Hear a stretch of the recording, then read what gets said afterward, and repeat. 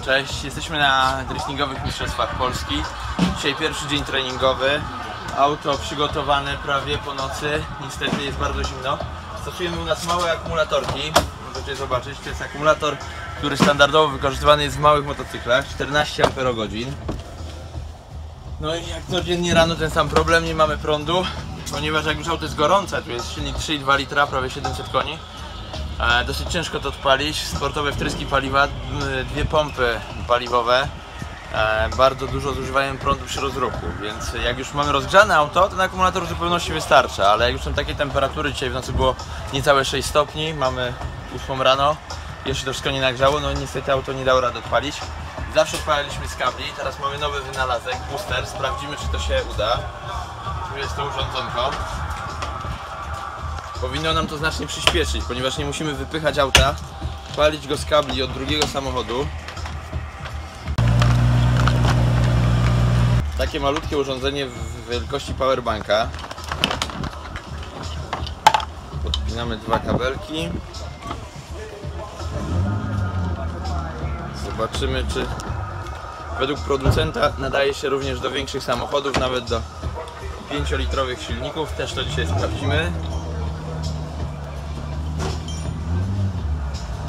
Ok, booster jest w pełni naładowany.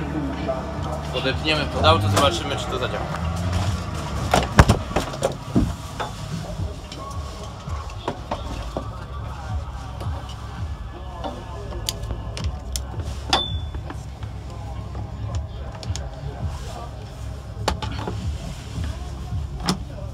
Dobra, włączymy. Dobra, zobaczymy jakie mamy napięcie od razu. Po podpięciu.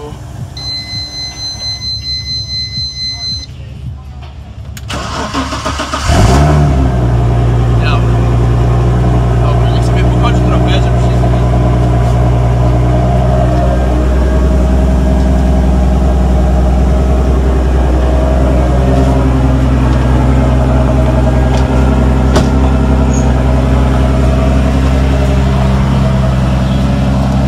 Widać samochód odpalił, słuchajcie, jest to mega poręczne urządzenie, także polecam. Testowałem go wcześniej w tym dużym wanie, którym jedziemy na zawody, na kempingu czasem jak śpimy, czy na torze, również się akumulator rozładuje. E, No dla mnie to jest mega wygoda, nie trzeba chodzić z tymi kablami, odpalać. Malutkie urządzenie wielkości powerbanka i naprawdę jest w stanie duże samochody odpalić. Kiedyś to nie wierzyłem, ale to działa. Urządzenie jest firmy Bas Polska. Wszystkie narzędzia, które używałem do tej pory w drifcie były również tej firmy, także mam spore doświadczenie. To wszystko działa.